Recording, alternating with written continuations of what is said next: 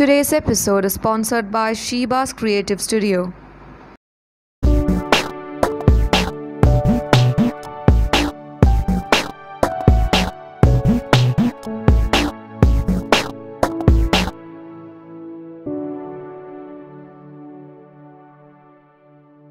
Hi all welcome to C S series Aswathy from ഡിയബി അപ്പോൾ ഇന്നത്തെ എപ്പിസോഡിൽ ഈ great revolt of eighteen fifty സെവന്റെ കോസും സിഗ്നിഫിക്കന്റ് റീസൺസ് ആണ് നമ്മൾ പരിശോധിക്കാൻ പോകുന്നത്.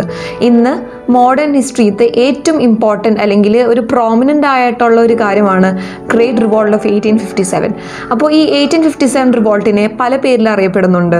അതിനെ സിപ്പായി ലഹള അല്ലെങ്കിൽ സെപ്പോയ് മ്യൂട്ടിനി അല്ലെങ്കിൽ ഫസ്റ്റ് വാർ അല്ലെങ്കിൽ ഫസ്റ്റ് സ്ട്രഗിൾ ഫോർ ഇൻഡിപെൻഡൻസ് അങ്ങനെ പല പല പേരിൽ ഈ ഗ്രേറ്റ് റിവോൾട്ടിനെ അറിയപ്പെടുന്നുണ്ട്. വർഷം നടന്നത് എയ്റ്റീൻ ഫിഫ്റ്റി സെവനിലാണ് അപ്പോൾ ഇന്നത്തെ എപ്പിസോഡിൽ അതിന്റെ കാരണങ്ങൾ സിഗ്നിഫിക്കന്റ് ഇഫക്റ്റ് അല്ലെങ്കിൽ significant reasons that led to this revolt of eighteen fifty seven ആണ് നമ്മൾ പരിശോധിക്കാൻ പോകുന്നത്.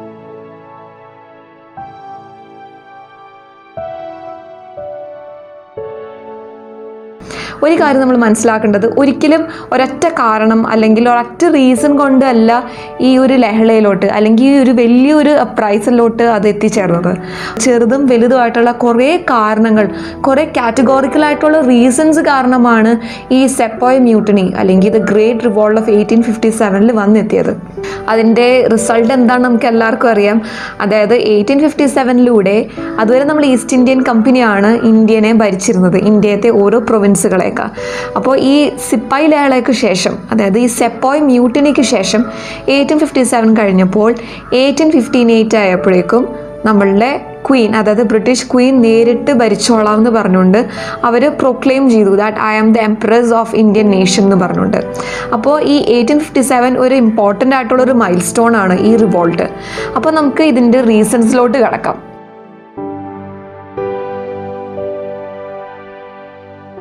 അപ്പോൾ ഫസ്റ്റ് കാറ്റഗറി എന്ന് വെച്ചാൽ എക്കണോമിക് റീസൺസ് ഏറ്റവും ഇമ്പോർട്ടന്റും അടിസ്ഥാനപരമായിട്ടുള്ള ഒരു കാരണമാണ് എക്കണോമിക് ആയിട്ടുള്ള റീസൺസ് ഇപ്പോൾ പറയാറില്ലേ ഏത് കുടുംബത്തിന്റെയും അല്ലെങ്കിൽ ഏതൊരു നാടിന്റെയും ഏറ്റവും അടിത്തറ അല്ലെങ്കിൽ ഏറ്റവും അടിസ്ഥാനമായിട്ടുള്ളൊരു പ്രശ്നമാണ് സാമ്പത്തികം.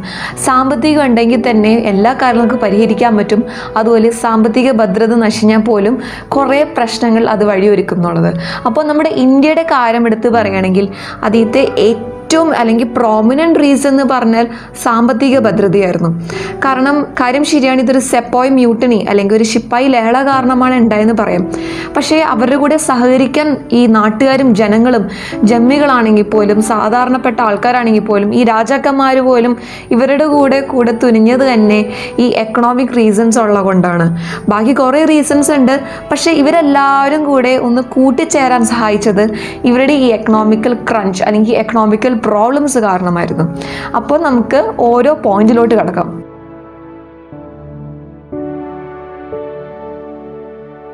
First reason is that permanent settlement of act seventeen nine ത്രീയിൽ ലോർഡ് കോൺവാലിസ് ആണ് അത് പ്രഖ്യാപിച്ചത്. ഈ ആക്ടിന്റെ പ്രകാരത്തിൽ അതായത് നമ്മൾ പറഞ്ഞതാണല്ലോ ഈ ബാച്ചിൽ ഓഫ് ബുക്സറിന് ശേഷം നമ്മുടെ ഈ ബ്രിട്ടീഷ് അല്ലെങ്കിൽ ഈസ്റ്റ് ഇന്ത്യൻ കമ്പനികൾക്ക് ദിവാനി റൈറ്റ്സ് ഇവിടെ കിട്ടി. ദിവാനി റൈറ്റ്സ് എവിടേക്കാണ് കിട്ടിയത്? ഈ ബംഗാൾ പ്രൊവിൻസ് അത് പ്രസന്റ് ഡേ ആയിട്ടുള്ള വെസ്റ്റ് ബംഗാൾ ഒറീസ പിന്നെ ബീഹാറുള്ള കാര്യങ്ങളൊക്കെയാണ് ഈ അന്നത്തെ ബംഗാൾ പ്രൊവിൻസ് എന്ന് പറയാൻ. അപ്പോൾ ഇവർക്ക് ദിവാനി റൈറ്റ്സ് കിട്ടി. അതായത് they have right to collect revenue and taxes പക്ഷേ ഇതെങ്ങനെ കളക്ട് ചെയ്യേണ്ടത്? അതിന്റെ രീതികൾ എന്തൊക്കെയാണ്? ഏതൊക്കെ ലെവലിൽ നിന്നാണ് അവർ ടാക്സ് കളക്ട് ചെയ്യേണ്ടത്? ഇപ്പോൾ നമ്മുടെ ഇന്ത്യയുടെ കാര്യം തന്നെ എടുത്ത് നോക്കാം. ഇപ്പോഴത്തെ പ്രസന്റ് സിനാരിയോയിൽ ഇവിടുത്തെ ഇൻകം ടാക്സ് എന്ന് നമ്മൾ ഒന്ന് എടുത്ത് നോക്കുകയാണെങ്കിൽ ചിലപ്പോൾ ഒരു മൂന്ന് ശതമാനം ആൾക്കാർ മാത്രമായിരിക്കും ഇൻകം ടാക്സ് അടക്കുന്നത്. അത് ഈ സാമ്പത്തിക ഭദ്രത അല്ലെങ്കിൽ എബവ് ദി ലൈൻ ഈ ഒരു ലൈൻ ഉണ്ട് ഒരു രേഖ രേഖപ്പെടുത്തിയിട്ടുണ്ടാവും. അപ്പോൾ ഈ അന്നത്തെ ഈസ്റ്റ് ഇന്ത്യൻ കമ്പനികൾക്ക് ഒരു ധാരണയില്ലായിരുന്നു. എന്തിന്റെ അടിസ്ഥാനത്തിലാണ് ഞാൻ സാധാരണ ജനങ്ങൾക്ക് അല്ലെങ്കിൽ ഒരു ആർട്ടിസ്റ്റ്മെന്റിന് ഏത് കണക്കിലാണ് ഞാൻ ടാക്സ് കണക്ക് കളക്ട് ചെയ്യേണ്ടത്? അല്ലെങ്കിൽ ഒരു ഫാമറിന്റെ നിന്ന് ഏത് കണക്കിലാണ് ഞാൻ ടാക്സ് കളക്ട് ചെയ്യേണ്ടത്? ഒരു ജമീന്ദാർ അല്ലെങ്കിൽ ഒരു പ്രമാണിയിൽ നിന്ന് എത്ര കണക്കിലാണ് ഞാൻ ടാക്സ് കളക്ട് ചെയ്യേണ്ടത്? അങ്ങനെ കുറേ കൺഫ്യൂഷൻസും കുറേ ധാരണയില്ലാത്ത കാര്യങ്ങൾ വന്നപ്പോൾ കുറേ ട്രയൽ ആൻഡ് എറർ മെത്തേഡിൽ കുറേ മെത്തേഡുകളും കുറേ കാര്യങ്ങളൊക്കെ അവർ പ്രയോഗിച്ചു നോക്കിയിട്ടുണ്ടായിരുന്നു. പക്ഷെ ഒന്നും പ്രായോഗികമായില്ല. അങ്ങനെയാണ് permanent settlement act of seventeen ninety three എന്നൊരു കാര്യത്തിലോട്ട് വന്നെത്തിയത്. അത് ലോർഡ് കോൺവാലിസ് ആണ് ആ ഒരു ബില്ല് അല്ലെങ്കിൽ ആ ഒരു ആക്ട് ഇവിടെ പ്രായോഗികമാക്കിയത്. അപ്പോൾ ഈ പെർമനന്റ് സെറ്റിൽമെന്റ് ആക്ട് എന്ന് വെച്ചാൽ ഫോർ എക്സാമ്പിൾ കേരളത്തിൽ ഒരു ചെറിയൊരു ഗ്രാമം എടുത്തോളൂ. ആ ഒരു ചെറിയ ഗ്രാമങ്ങളിൽ കുറേ ഫാമേഴ്സ് ഉണ്ടാവും. അപ്പോൾ ഈ ഫാമേഴ്സിനടുത്ത് എങ്ങനെ കളക്ട് ചെയ്യേണ്ടത്? ആ കാര്യങ്ങളൊന്നും ഇവർക്കറിയില്ല. അപ്പോൾ അതിന് വേണ്ടി റെപ്രസെന്റീവായിട്ട് ഒരാളെ നിർത്തും. അയാളെ അയാളെയാണ് ജമ്മികൾ അല്ലെങ്കിൽ ജമീന്ദാസ് എന്ന് പറഞ്ഞത്. അപ്പോൾ ജമീന്ദാസ് ഇത് നേരത്തെ ഉണ്ടായിരുന്നു ജമീന്ദാസ് ഈ മുഗൾ പിരീഡിലും അതിനു മുമ്പത്തെ രാജാക്കന്മാരുടെ കാലത്തും ജമീന്ദാസ് ഉണ്ടായിരുന്നു. പക്ഷേ ഇവിടെ ഒരു വ്യത്യാസം എന്ന് വെച്ചാൽ ജമ്മികളുടെ അടുത്ത് പറയണ ഈ ജമീന്ദാസിന്റെ അടുത്ത് പറയാണ് ഇന്ന് മുതൽ ഈ നിന്റെ ഈ ഗ്രാമങ്ങളിലത്തെ എല്ലാ ലാൻഡുകളും നീയാണ് ഓണർ അതായത് ഈ ലാൻഡൊക്കെ ഉപയോഗിക്കുന്നത് അവരാരായിക്കോട്ടെ അത് വാങ്ങിച്ചു ചേർക്കുന്നത് ആരായിക്കോട്ടെ? ഇനി തുടങ്ങി ഈ നിന്റെ ഗ്രാമങ്ങളിലത്തെ എല്ലാ ലാൻഡുകളും നിനക്ക് സ്വന്തം. അപ്പോൾ എല്ലാ കാര്യങ്ങളും ഈസ്റ്റ് ഇന്ത്യ കമ്പനി എളുപ്പമാക്കി കൊടുക്കില്ലല്ലോ? കാര്യം ശരിയാണ് ജമീദാസിനെ സംബന്ധിച്ചിടത്തോളം ഒരു നല്ലൊരു കാര്യമാണ്. പക്ഷേ അവിടുത്തെ കർഷകരെ സംബന്ധിച്ചിടത്തോളം അവരുടെ പേര് ഇന്ന് തുടങ്ങി ലാൻഡ്ലെസ് ഫാമേഴ്സ് എന്നുള്ള രീതിയിലായി. അതായത് കർഷകരാണ് പക്ഷെ ഇവർക്ക് ഭൂമിയില്ല. വേറൊരാളുടെ ഭൂമിയിലാണ് അവർ ചെയ്യുന്നത്. അപ്പോൾ ഇതിനനുബന്ധമായിട്ടുണ്ടായ പ്രശ്നങ്ങൾ എന്ന് വെച്ചാൽ ജമീൻദാസ് ഒരു പൈസ രക്കം കൊടുത്തിട്ടാണ് അവർക്ക് ഈ ഒരു റൈറ്റ്സ് കിട്ടുന്നത്. അപ്പോൾ ഇനി തുടങ്ങി ബ്രിട്ടീഷുകാർ പറയാണ് ഈ മൊത്തം ലാൻഡ് നിന്റേതാണ് അപ്പോൾ ടാക്സ് തരേണ്ട ആവശ്യം നിന്റേതാണ് നീ വേണം ടാക്സ് തരാൻ. ടാക്സ് ഏതെങ്കിലും ഒരു കാരണവശാൽ നീ അത് തരാനായിട്ട് വൈകിയാൽ അല്ലെങ്കിൽ തരാൻ പറ്റാതെ വന്നാൽ ബ്രിട്ടീഷുകാർ ഈ ലാൻഡ് സീസ് ചെയ്യും. അതായത് വാറൻസ് ഉപയോഗിച്ച് ഈ ലാൻഡ് സീസ് ചെയ്യാനുള്ള അധികാരമുണ്ട്. അപ്പോൾ ചിലപ്പോൾ ജമീന്ദാസിന് ഒരു ഇത്രയും കൂടി കേപ്പബിൾ അല്ലെങ്കിൽ ഇത്രയും കൂടി ഒരു കഴിവുള്ള ജമീന്ദാസ് ആണെങ്കിൽ ആ നാട്ടിലത്തെ ഫാമേഴ്സിനെ വെച്ച് വേണമെങ്കിൽ നല്ല രീതിയിൽ വിളവും കാര്യങ്ങളൊക്കെ എടുക്കാൻ പറ്റും. പക്ഷേ പണ്ടത്തെ കാര്യമല്ലേ? അതായത് അവരൊക്കെ ഈ ഇറഗുലർ ആയിട്ടുള്ള ഇറിഗേഷനിലായിരുന്നു അവർ ഡിപ്പെൻഡ് ചെയ്തിരുന്നത്. മഴയും ഈ വെള്ളത്തിന്റെ കാര്യങ്ങളും ആ പുഴയും കാര്യങ്ങളൊക്കെയാണ് അവർ ഡിപ്പെൻഡ് ചെയ്തിരുന്നത്. അതുപോലെ തന്നെ ചില സമയത്ത് നാശനഷ്ടങ്ങൾ വരും. മഴ വന്ന് നശിഞ്ഞു പോകും അങ്ങനെ കുറേ അൺപ്രഡിക്റ്റബിൾ ആയിട്ടല്ലാത്തുള്ള കുറേ കാരണങ്ങൾ കൊണ്ട് ഈ വിളവിന്റെ കാര്യങ്ങളും ആർക്കും നമുക്ക് പറയാൻ പറ്റില്ല.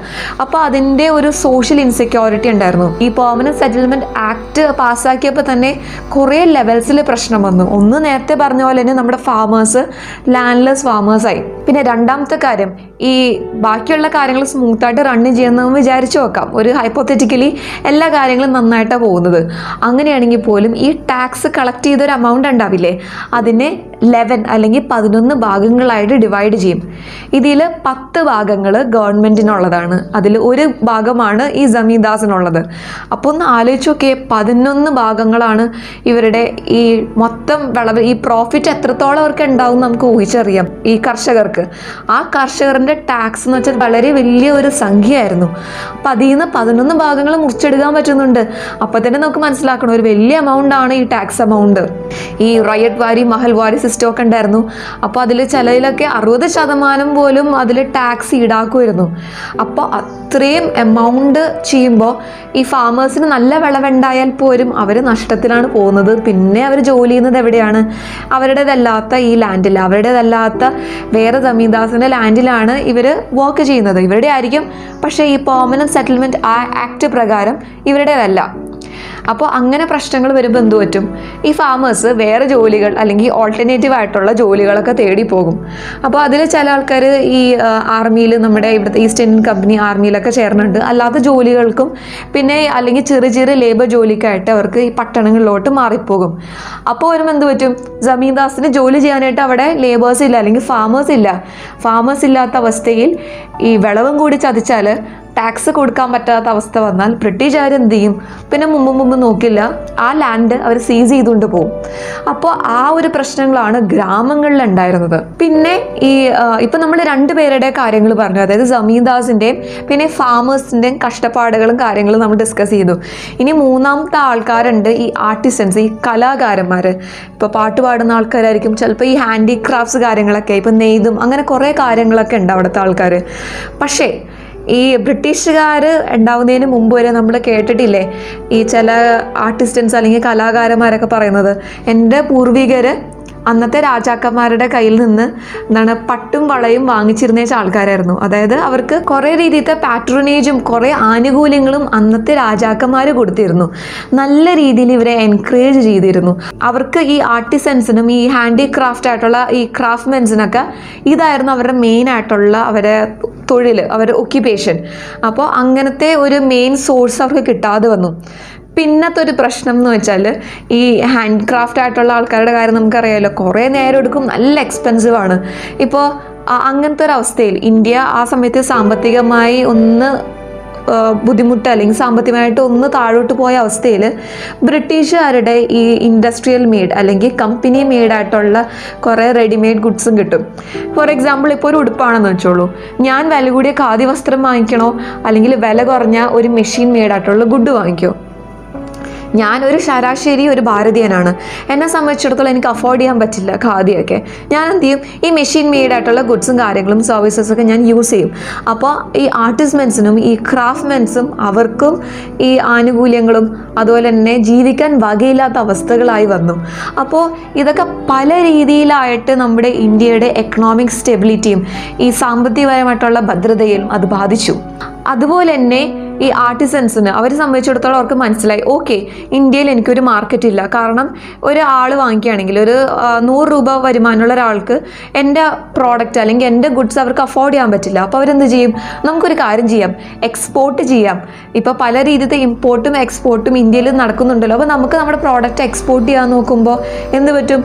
ഈ ബ്രിട്ടീഷുകാർ പല രീതിയിലത്തെ പോളിസീസും പല രീതി റെസ്ട്രിക്ഷൻസും വെച്ചുകൊണ്ട് ആർട്ടിസൻസിന്റെയും ഈ ക്രാഫ്റ്റ്മെൻസിന്റെയും പ്രോഡക്ട്സിനെ തടഞ്ഞു നിർത്തും. അതായത് ഇന്ത്യയിൽ ആ കാലത്ത് എക്സ്പോർട്ടിനെക്കാട്ടും കൂടുതൽ സർപ്ലസ് ആയിട്ടുള്ള ഇമ്പോർട്ട്സ് ആയിരുന്നു. ഇപ്പോൾ ഏറ്റവും വലിയൊരു എക്സാമ്പിൾ പറയുകയെന്ന് വെച്ചാൽ ഇപ്പോൾ നമ്മൾ ഇന്ത്യത്തെ ഒരു ഇൻഡിജീനിയസ് ആയിട്ടുള്ള ഒരു പ്രോഡക്റ്റ് അല്ലെങ്കിൽ റോ മെറ്റീരിയലാണ് കോട്ടൺ അവരെന്ത് ചെയ്യുമെന്ന് അറിയാമോ ഇവിടെ നിന്ന് ബ്രിട്ടീഷുകാർ ഈ കോട്ടൺ അങ്ങോട്ട് എക്സ്പോർട്ട് ചെയ്യും. എന്നിട്ട് മെഷീൻ മെയ്ഡ് ഗുഡ്സും കാര്യങ്ങളൊക്കെ ഉണ്ടാക്കിയിട്ട് സർപ്ലസ് ആയിട്ട് എക്സ്പോർട്ട് ചെയ്യും. അപ്പോൾ ഇവിടുത്തെ സാധനം എടുത്തുകൊണ്ട് അതിനൊന്ന് മോടി കൂട്ടി വേറെ പ്രോഡക്റ്റ് ആക്കി കൺവേർട്ട് ചെയ്ത് അവിടെ ഇവിടെ തന്നെ വെക്കും. അപ്പോൾ നമുക്ക് റോ മെറ്റീരിയൽസും ഇല്ല ഈ സാധാരണ ആർട്ടിസ്റ്റ്മെൻസിന് അതുപോലെ തന്നെ ഫിനിഷ് പ്രോഡക്ട്സിന് വളരെ ഒരു കോമ്പറ്റേറ്റീവ് ആയിട്ടുള്ള മാർക്കറ്റ് നമുക്കിവിടെ സൃഷ്ടിക്കുകയും ചെയ്തു. അതിനോടൊപ്പം തന്നെ നമുക്ക് എക്സ്പോർട്ട് ചെയ്യാനും ഇവർ സമ്മതിക്കുന്നില്ല. അപ്പോൾ പല രീതിയിലായിട്ട് ഓരോ ഘട്ടത്തിലും ഓരോ ആൾക്കാരെയും സാമ്പത്തികപരമായിട്ട് ഒരു ചൂഷണം ചെയ്യുന്നുണ്ടായിരുന്നു. കാരണം അന്നത്തെ കാലത്ത് ഈ ഈസ്റ്റ് ഇന്ത്യ കമ്പനി അല്ലെങ്കിൽ ബ്രിട്ടീഷ് ഗവൺമെന്റ് അവർ ഒരു കണക്കിന് പറഞ്ഞാൽ ലൂട്ട് ചെയ്യാനാണ് ഇവിടെ വന്നിരുന്നത്. അവരൊരിക്കലും ഇവിടെ സെറ്റിൽ ചെയ്തിട്ടില്ല. ഇപ്പോൾ നമ്മളെ ഭരിച്ചിരുന്നേച്ച ക്വീൻ എന്ന് പറഞ്ഞാൽ പോലും നമ്മുടെ ഈ great revolt of eighteen fifty seven ശേഷം നമ്മുടെ ക്വീൻ സെൽഫ് പ്രൊക്ലെയിംഡ് ആയിട്ടുള്ളൊരു ക്വീൻ ആയല്ലോ നമ്മുടെ ഇന്ത്യത്തെ. അവർ പോലും ഇവിടെ സെറ്റിൽ ചെയ്തിട്ടുണ്ടായിരുന്നില്ല. നമുക്കറിയാം ഇതിനു മുമ്പ് കുറേ ഇൻവേഡേഴ്സ് ആൾക്കാരൊക്കെ വന്നിട്ടുണ്ടായിരുന്നു മുഗൾസ് പോലും ഉണ്ടായിരുന്നു. പക്ഷെ അവർ ഇവിടെയൊക്കെ സെറ്റിൽ ചെയ്തിട്ടുണ്ടായിരുന്നു. പക്ഷേ ഈ ആൾക്കാർ നമ്മുടെ ഇവിടെ നിന്ന് ഊറ്റിക്കൊണ്ട് പോയിട്ട് അവിടെ സെറ്റിൽ ചെയ്യും അവിടെ നല്ല ലൈഫ് ഉണ്ടാക്കും. അപ്പോൾ അങ്ങനത്തെ കുറേ കാരണങ്ങൾ അപ്പോൾ ഇതൊക്കെ ആൾക്കാർ മനസ്സിലാക്കി വരുന്നുണ്ട്. അന്നത്തെ കാലഘട്ടത്തെ ആൾക്കാർ ഇവർ നോക്കുമ്പോൾ എന്താണ് ഞങ്ങളുടെ അടുത്ത് വന്നിട്ട് ഞങ്ങളെ ചോര ഊറ്റി കുടിച്ചിട്ട് ഞങ്ങൾ ജീവിക്കാൻ അനുവദിക്കുന്നില്ല. അപ്പോൾ ആ ഒരു സംഘർഷം ഇവരുടെ ഇടയിലുണ്ടായിരുന്നു. ഇനി രണ്ടാമത്തെ reason is political causes great revolt of eighteen fifty സെവന്റെ economic causes ഇവിടെ അവസാനിക്കുന്നു. ഇനി അടുത്ത ഭാഗങ്ങൾക്കായി കാത്തിരിക്കുക. അതുവരെ ബൈ